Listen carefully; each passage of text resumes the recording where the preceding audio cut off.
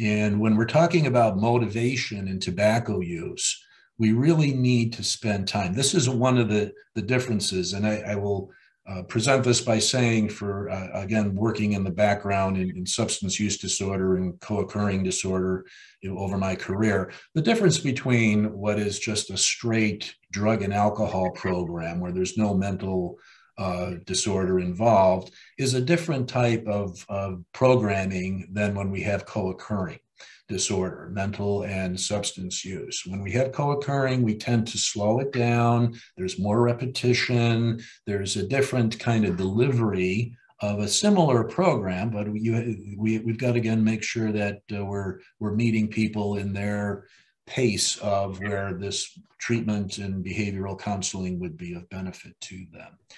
I will say that with tobacco use disorder as well. This is the difference between the brief interventions that work really well in the in the general community or general population. When we're talking about motivation in someone in a behavioral health setting, I may spend weeks talking to them in individual sessions of just uh, exploring with them how is your life going to be better tobacco free?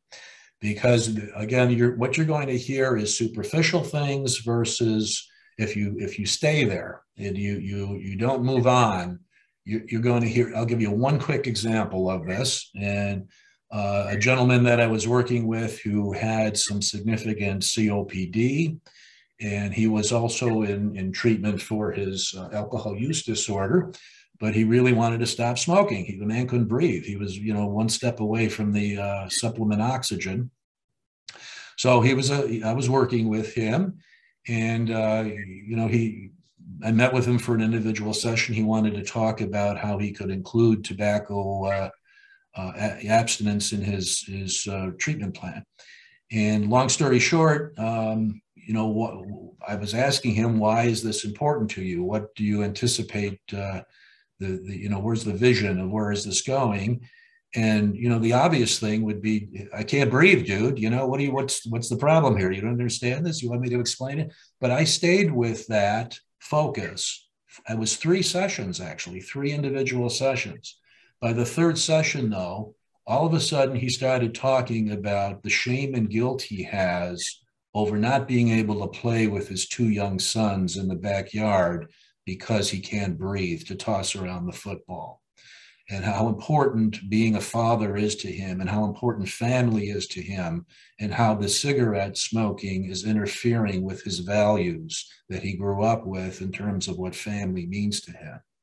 Now if i would have in the first session just kind of went with it okay you can't breathe let's figure out how to slap on a patch and not smoke uh, that would not have been meeting this man's needs so by spending time with him, with the where you get into more in-depth, complex uh, understanding of where a person is at with their tobacco use. This is where I call them the golden nuggets. This is where because a lot of things we do with that. We then can use that as an affirmation. I know this this gentleman then developed a keychain where he had pictures of his two sons, whereas we were talking about behavioral challenges of craving, of how to use that as a reminder of why this is important for me to to make. So there was a there's a lot of therapeutic uh, sort of tangible things you can do with this. But the important thing, one of the major differences I find in behavioral health is. Uh, again, more intensive, slower,